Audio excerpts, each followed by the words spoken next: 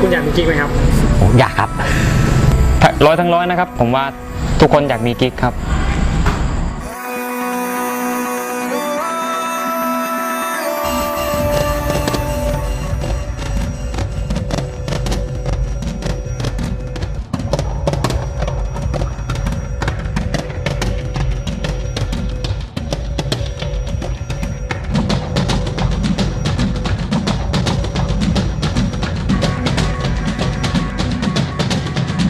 วังว่าทุกคนคงจะรู้จักกิ๊ก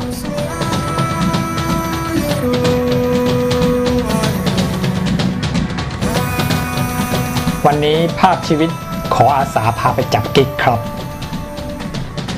ตามนิสัยของผู้ชายนะครับ ผู้ชายก็ต้องออไม่ต้องมองสิ่งที่สวยงามๆโดยเฉพาะเรื่องสาวๆหรือผู้หญิงนะครับ แล้วก็บางทีเราถ้าเกิดเรามีแฟนอยู่เนี่ยสมมติว่าเรามีแฟนเราคบกันไปหนึ่งวันสองวันก็อาจจะไม่มีเป็นไรใช่ไหมครับพอสักปีหนึ่งสองปีเนี่ยเราจะเริ่มรู้สึกว่าเออเราเห็นทุกวันทุกวันก็เหมือนกับดอกไม้นะครับ พอมองทุกวันเห็นทุกวันมันก็รู้สึกว่ามันเอ๊ะมันเดิมๆไปอะไรเงี้ยเราก็อยากจะหาของดอกไม้ใหม่ๆหรือว่าสิ่งใหม่ ๆ ดูบ้างอะไรเงี้ย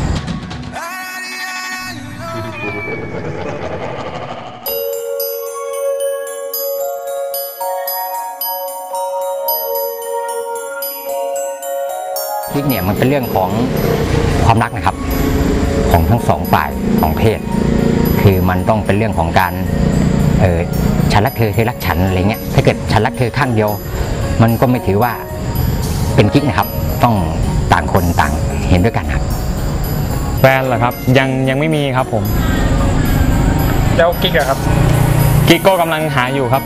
ตอนนี้กำลังหาอยู่ครับ อย่างกิ๊กกับแฟนเหรอครับ ผมเลือกมีแฟนดีกว่าครับ ทำไมครับอ่า เพราะแฟนเนี่ยเราสามารถอ่าเปิดเผยตัวตนได้ครับ แล้วก็ไปไหนมาไหนก็ไม่ต้องห่วงว่าจะมีเรื่องมีราวอะไรกันครับ ถ้าบางคนไม่เปิดเผยตัวก็เขาก็อาจจะมีนะครับ แต่บางคนเขาเปิดเผยก็ ก็อาจจะมีหรือไม่มีก็ได้ครับ อย่างคุณเนี่ยมีหรือเปล่าครับกิ๊กอย่างผมนะครับ อืมคิดว่าไม่มีครับ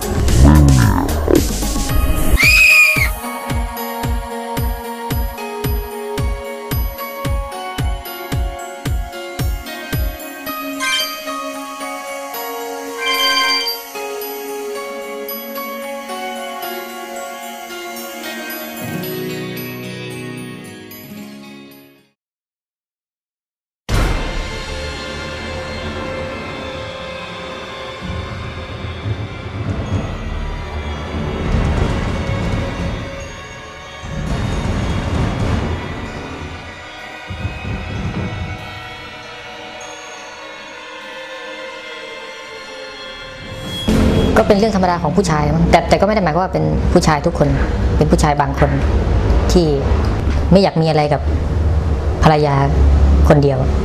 ถ้าเกิดเขารู้ว่าคุณมีแฟนแล้วเขายังจะเป็นเด็กคุณหรือเปก็ล่าต้องรู้ต้องบอกตั้งแต่ต้น ไม่ไม่ได้ปิดบัง ก็บอกว่าเรามีเมียแล้ว แต่ว่าเขายินดีจะคบกับเราไหมในฐานะกิ๊กอะไรก็ว่ากันไป ไม่ได้ไม่ได้บอกว่าไม่มีเมีย คือรู้กันทั้งสองฝ่าย ยินยอมยินยอมทั้งสองฝ่าย ไม่ไม่ได้หลอกลวงแล้วเขารับได้เหรอครับ ก็รับได้ก็รับได้ ถ้ารับไม่ได้เราก็หาคนใหม่ ผู้หญิงที่เขาปฏิเสธพวกนี้ก็มีเราต้องดูด้วย ดูปฏิกิริยาตอบโต้ก่อนนอกเหนือจากเรื่องนี้แล้วคุณต้องมีความพร้อมอย่างอื่นไหมครับ หมายถึงอะไรครับมาถึงเรื่องพวกอ่าปัจจัยอะไรเงี้ยครับเงินใช่ไหมครับอ่าเราก็ต้องดูแลเขาอะ ก็ก็ต้องให้ให้เขาบ้าง แต่ไม่ใช่หมายความว่าต้องมากมายอะไร เพราะว่ามันมันมันไม่ใช่การซื้อขาย มันเป็นความพอใจ มีลึกซึ้งเหมือนกับแฟนแต่แบบว่า แต่ก็คือแบบว่าเหมือนไม่ไม่ก้าวไก่ชีวิตกันมากเกินไปอะค่ะพี่เวลาที่แบบที่ไม่ที่ไม่ควรมาหาคุณก็ไม่ต้องมาหาอะไรเงี้ยเออถ้าเราโทรไปคือแบบว่า ถ้าเราโทรไปถึงคุยกันถ้าแต่ถ้าคุณโทรมาถ้าฉันปิดเครื่องหรือว่าไม่รับสายก็คือว่าอยู่กับแฟนอะไรอย่างเงี้ยค่ะ มีหลายคนไหม คือบางทีอะเราครบบางทีเราครบเผื่อเลือกไงคะเออกิ๊กแบบบางทีกิ๊กในแบบไหนอะไรเงี้ยคือกิ๊กใครเหงาว่าแบบเราคบเผื่อเลือกแบบเผื่อแบบ แฟนเราไปมีคนใหม่อะไรเงี้ยเออเราจะได้แบบมีคนที่แบบรองรับเราได้อะไรเงี้ยค่ะ ก็แบบว่าคุณแบบมีกิ๊กอย่างนี้แล้วถ้าแบบแฟนคุณมีกิ๊กเหมือนกันเนี่ยคุณจะรู้สึกไงครับถ้ามีกิ๊กด้วยกันคือก็ต้องถามนะต้องถามว่า ก็เคยทะเลาะกันแบบอย่างนี้อยู่นะคะ แต่เราเป็นผู้หญิงส่วนมากเราจะไม่ค่อยยอมเลย อันนี้ก็รับไม่ได้เหมือนกันนะคะ ถ้าถ้ามีอย่างนี้ก็แบบว่า คือจะ ถ้าเป็นหนูนะคะจะแบบว่า แรกๆคือลองดูก่อนว่าเขามีอะไรถลำลึกไปไหม แต่ถ้ามีเกันกว่านั้นก็คือแบบใส่เลยอะค่ะ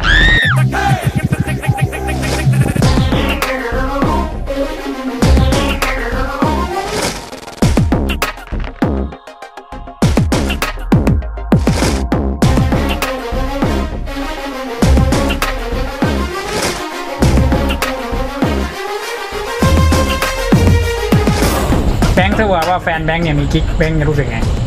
รู้สึกยังไงหรอ เคยโดนมาแล้วครับ แบบนี้ เจ็บมากเลยพี่ แต่ว่า มันโดนมาหลายครั้งมากครับ จนตอนนี้มันรู้สึกว่ามันเป็นธรรมดาไปแล้วครับ ถ้ามีอีกก็คือก็จบกันไปก็เหมือนกับหนังเรื่องหนึ่งแค่นั้นเองครับ ก็หาทางเลิกกันไปเลยครับขนาดแค่ยังไม่ทันแต่งงานเลยก็มีแล้ว ถ้าแต่งงานไปลำบาก หาคนใหม่ดีกว่าครับ กิ๊กกับชู้เหรอครับอืมคือความหมายก็คืออาอาจจะใกล้เคียงกันครับ คือกิ๊กอาจจะเป็นคำที่ทันสมัยกว่า หรือว่าเป็นคำที่อาจจะเรียกในปัจจุบันในอยู่วัยรุ่นหนุ่มสาวสมัยเนี้ยครับ มันเป็นไปได้ไหมครับที่มีกิ๊กแล้วไม่ได้แบบมีเพศสัมพันธ์ด้วยหรือไม่ได้หลับนอนกับกิ๊กก็เป็นไปได้ครับก็คือกิ๊กก็คืออาจจะเป็นการเพิ่งเรื่องคบกันในระยะแรก ๆ ครับ ก็เป็นไปได้ แต่มันต้องจบลงด้วยการหลับนอนกันหรือเปล่าครับโอ้อันนี้คือไม่เกี่ยวครับ คืออันนี้คือไม่ไม่ใช่ประเด็นที่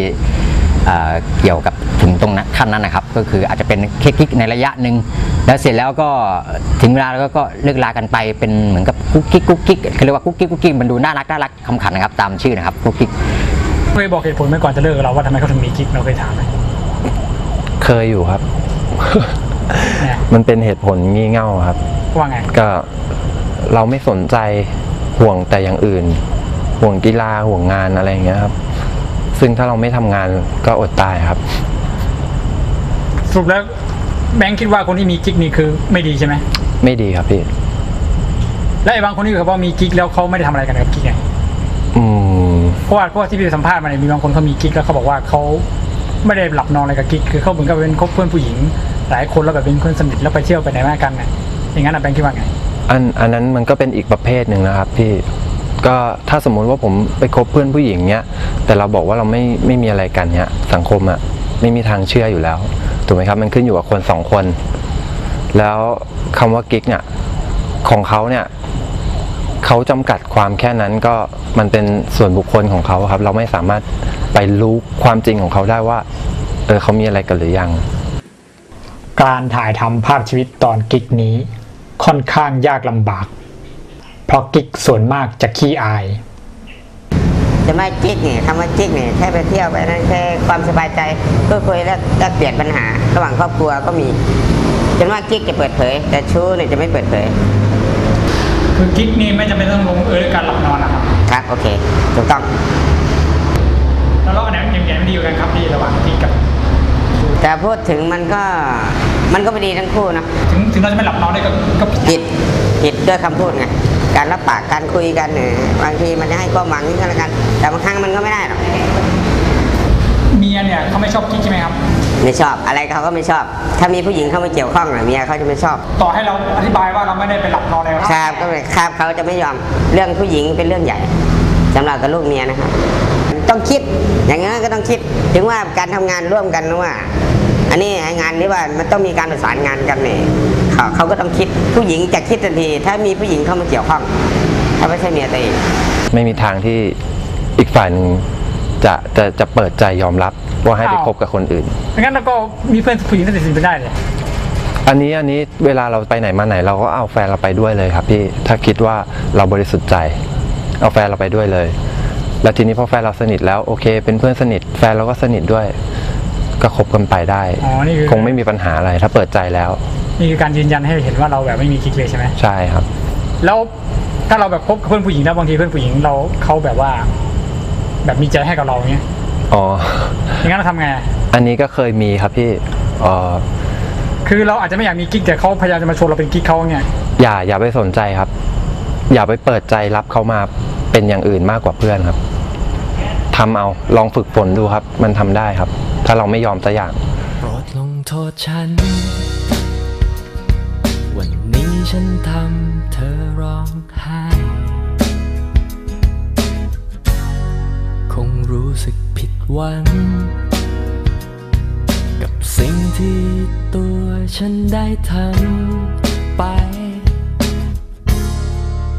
ไม่อยาก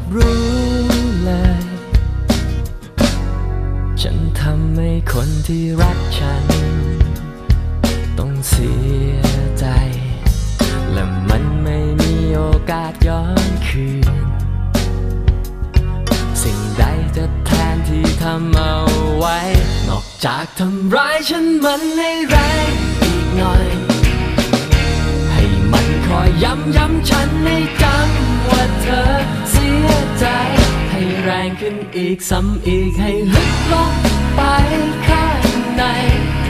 เหมือนที่เธอถูกทำร้ายจากฉัน สมัยนี้อะเราเข้าสังคมใช่ไหมพี่ พอเรารู้จักคนนู้นคนนี้คนนั้น มันก็เลยมีความรู้สึกว่าเฮ้ยตัวเองก็เจ้าชู้เหมือนกันนะ อาจจะเป็นเพราะสังคมมากกว่าครับ เพราะว่าเจอกันพบกันอย่างอย่างในสถานที่ท่องเที่ยวใช่ไหมครับเอ่อต่างคนก็ต่างมึนอะไรอย่างเงี้ยพี่ มันก็เลยหลวมตัวไป เรื่อยๆ สังคมปล่อยมาเรื่อยๆเรื่อยๆเรื่อยๆจนกลายเป็นแบบว่าเป็นเรื่องปกติ ผมเป็นคนชอบคบพวกผู้หญิงอยู่แล้วครับ ใครจะบอกว่าผู้หญิงเรื่องมากผมว่าไม่ใช่นะครับพี่เออนั่นแหละแบงค์ชอบคบผู้หญิงเนี่ยมีใช่ผู้หญิงสนิทไหมมีเยอะครับ แล้วเรามีความรู้สึกแบบว่าอ๋อจะชอบเขาไหมอะไรชอบเงี้ยเขาไหมอะไรเงี้ยไหมเออถ้าเป็นเพื่อนเนี่ยไม่ไม่คิดชอบเลยครับ เพราะว่าเพื่อนก็คือเพื่อนไปเลย ไปไหนมาไหนนอนด้วยกันก็เคยนอนแต่ว่าก็คือเพื่อนกันนะครับ พยายามอ่าอธิบายให้เขาเข้าใจครับ ในในส่วนนี้ก็ก็อ่าอธิบายความจริง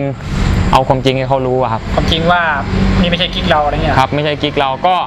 คุยกันตรงๆได้ครับเขาจะเชื่อเหรอก็ต้องก็ต้องลองดูอะครับ ผม อยากให้แฟนเราไว้ใจ แล้วก็ไม่รับโทรศัพท์ของอ่ากิ๊กหรือว่าหรือที่พี่พูดถึงอะครับ เพื่อนผู้หญิงก็ไม่รับเหรออ่ารับครับ รับแต่ว่าคนที่โทรมาบ่อยปกติ หรือว่ามีการส่งข้อความส่งเมสเซจอะไรกันอย่างเงี้ยครับ ก็ก็จะอธิบายให้เขารู้ว่าเราเนี่ยผู้หญิงคนนี้โทรมานะ เราไม่เราไม่ได้รับนะเราเนี่ยต้องการอ่าความไว้ใจจากเธออะไรประมาณนั้น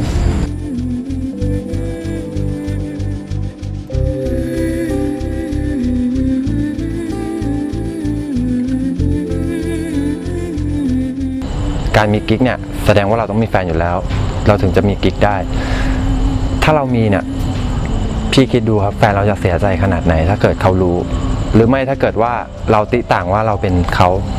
เกิดแฟนเราไปมีบ้างอย่างเงี้ยเราจะรู้สึกอย่างไร คือโทษนะไม่รู้ผมจะพูดแรงไปหรือเปล่า ถ้าจะบอกว่าคนที่ยินยอมเป็นเด็กเนี่ยผมว่าคือผมก็ไม่ใช่คนดีนะผมมีเด็กผมก็รู้ว่ามันผิดศีลธรรมผิดอะไรอยู่แล้ว แต่ว่า เราก็อยากได้ผู้หญิงคนดีๆคนหนึ่งมาเป็นแฟนเราอะเป็นภรรยา แต่ถ้ามีผู้หญิงคนหนึ่งยินดีที่จะมาเป็นกิ๊กกับเรา ก็หมายความว่าเขาเป็นคนไม่ดีแล้ว เราก็คงไม่อยากได้เขามาเป็นภรรยาสำหรับคนที่กำลังจะมีกิ๊กนะครับ ก็คืออย่างแรกประการแรกก็คือ เราต้องคำนวณถึงคิดถึงตัวเราเองแล้วก็ตัวคนรักเราด้วยนะครับว่าความรู้สึกเขาจะเป็นยังไงบ้างถ้าเกิดเขารู้เข้าว่าเออเรากำลัง มองหาคนใหม่หรือว่าคิดจะมีคนใหม่อะไรอย่างเงี้ยหรือว่าถ้าอย่างนั้นคือถ้าเราชะล่าใจแล้วสักวันหนึ่งเกิดเขาเกิดจับได้ขึ้นมาเนี่ย เราจะต้องจะต้องทำตัวยังไง เราต้องน่าจะคิดได้ถึงวันนั้นนะครับ ถ้าเกิดคุณคิดว่าคุณรักแฟนคุณจริงแล้วคุณอย่ามีกิ๊กเลยดีกว่าครับ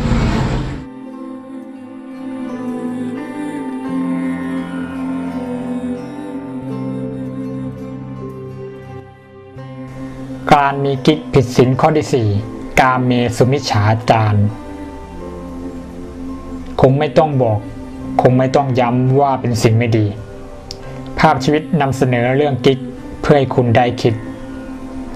สวัสดีครับ